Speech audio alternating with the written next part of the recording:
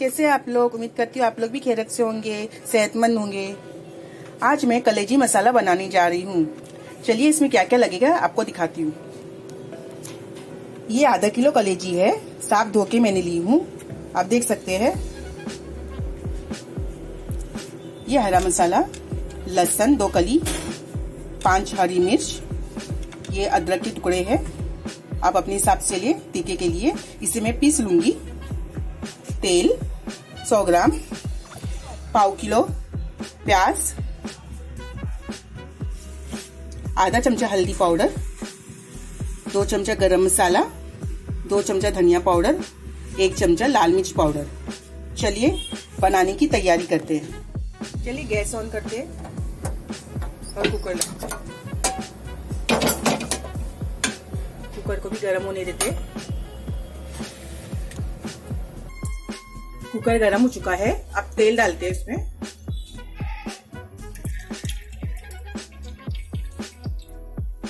तेल को गर्म होने देते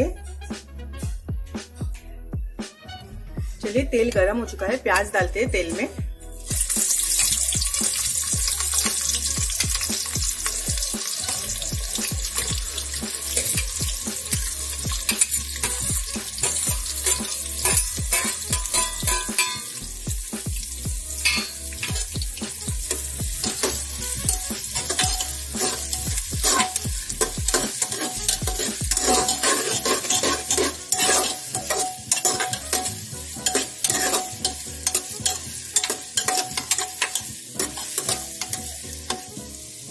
से हल्का ब्राउन होने देते हैं।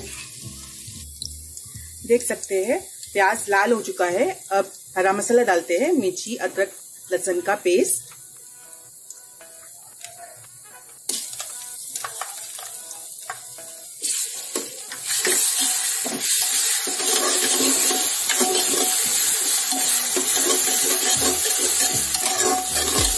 अच्छे से भून लेते हैं।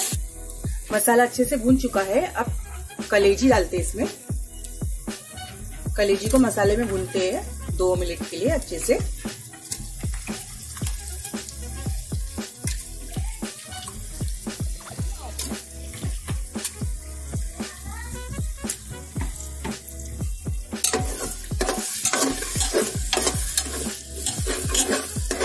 दो मिनट के लिए अच्छे से भून ले।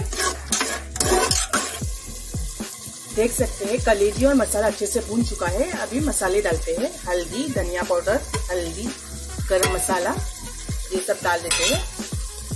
भूनते हैं एक मिनट के लिए।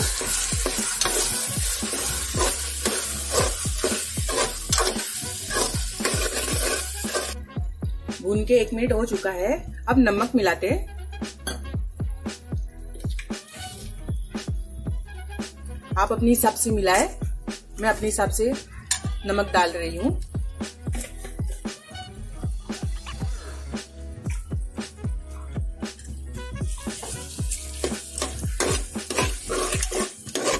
नमक को अच्छे से मिक्स करें।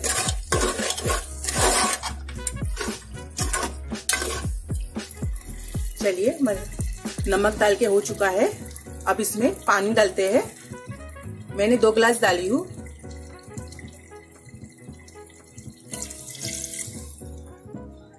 आप अपने हिसाब से डालें, ताकि कलेजी बड़ा सही से पक सके कुकर में।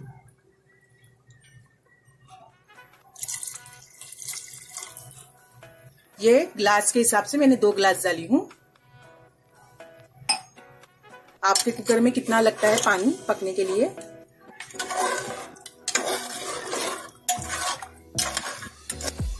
बॉईल आ चुका है। चलिए ढक्कन लगाते हैं कुकर का।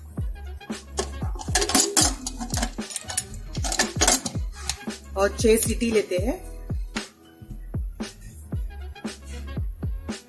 और गैस फास्ट ही रखना है। फास्ट गैस पे छह सीटी लेना है।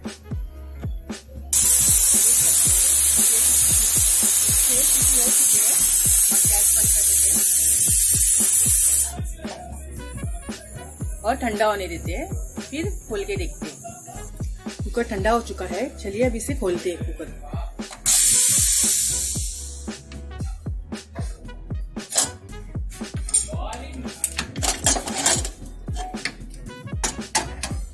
देखते हैं, चम्मच से हिलाकर।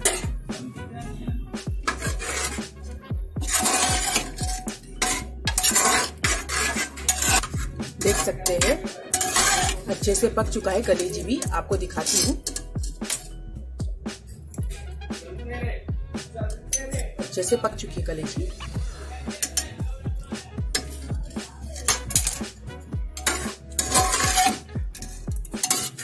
चलिए, अब बॉल में सर्व करते हैं ट्रे में।